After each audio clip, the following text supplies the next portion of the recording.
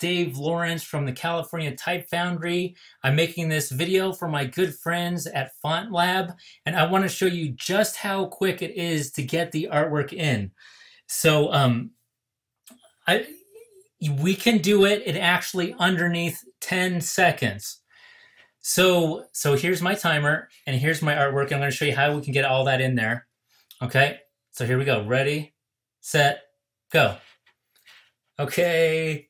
Oh, I don't want this one. I don't want this one. Oh, no. Okay, okay. Let's highlight everything. Apply. Okay, done. Okay, well, I didn't want this one, but let's delete him out. That's my example of the EPS. So see, we were able in just eight seconds, able to get all of our artwork in there. So now I'm going to show you the different steps of how to prepare your artwork like this. So it's just easy as just a drag in and resize, and then you're just about ready to start drawing and making your font. Okay, so step one is preparing your art. So first thing is you have to use the correct format. So if we if I go over here to import and to artwork, which is Control D on Mac, um, you can see here now the different types. So for these artwork, you have some different things. These are your basic image of types of files. And then you also have the drawings. Uh, EPS is a good one.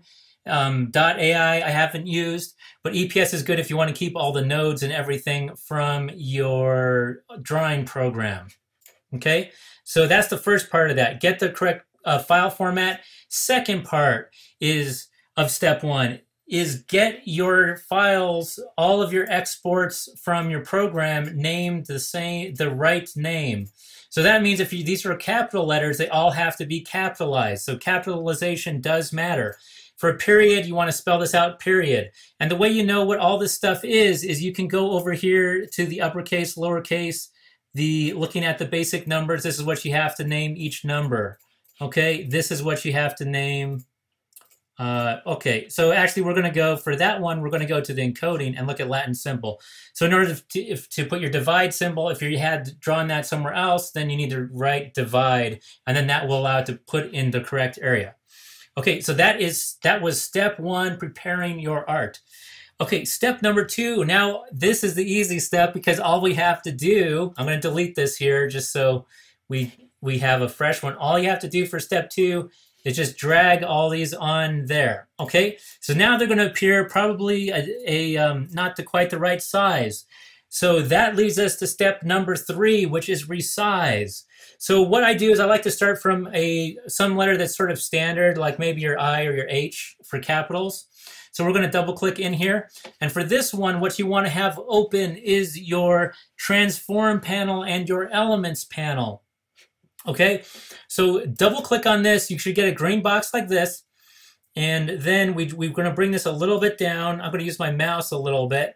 And then we're going to drag this X to, to over there. And so now your cap height, that's sort of going to vary, but um, 700, depending on the design of your font, but 700 is the default. That's sort of an average caps height. So I'm going to hold down option and pull up this corner so that keeps him the same size and bring him up to the top of where I think he should be. So I'm going to say it's about right there, okay? So you can, so on the elements panel, if this part is not showing, then you're going to click on this here to show the element properties. So if this is not showing, click that. And what that's going to do is going to tell you how much we resized it. So we resized it about uh, 332, so that's why I had the 332, and you put that in your transform panel, okay? So now that we've put that in there, we can now highlight everything. So I click on the first one, then I hold shift, and I click on the last one. And now if I want to not have the I show, I'm going to hold down command, and click on this. And so now everyone is going to be highlighted except for the I. So now you can hit apply. I like to put this in the lower in the lower left corner a lot of times so that everything expands up that way. Okay, so hit apply and there we go. So now all the artwork is about the is about the right size, but you can see that some things are floating, like the R is floating up a little bit, and the W is floating up, and the X is floating up. So that's because our we we when we took the pictures, we didn't do it all the way precise, but that's okay because we can. Uh, the next step is to just adjust the placement. So step four, adjusting the placement. Okay, so now what we're going to do is uh, we're just going to choose a couple of things that are floating a lot, like the X and the K are about floating, and the M are floating about the same much, and the R. So now what we do is if we want to work on all those, instead of going them, each of them individually and adjusting them, we can, since these have a lot more to adjust, we can go to the tools and then to, where was I going? Actions. And I've put a shortcut here. That's my customized shortcut, um, which you can do by the commands that allows you to adjust your shortcuts. Okay, so hit the actions there. And let's say he looks like he needs to go down about a minus 60, all these guys. So what you can do is just hit the run to leave this open so that way we can adjust it a little bit later. Okay, so that's pretty good on those. So we're going to close that. That helped out a little bit with these ones. The K is still floating a little too much, but that's okay. So now the second part is after you've adjusted a bunch of things with the actions about where you want it to, now we go in here and we just adjust it to where we want it to be a, a, little bit better, okay? And you can even drag these in if you want to adjust the side bearings while you're doing that.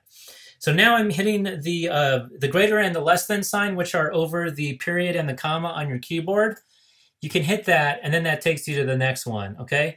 Now the C looks like his overshoots are a little bit too much because that's how it was in the original artwork, but we don't want it quite that much. So we're going to have to maybe resize him more.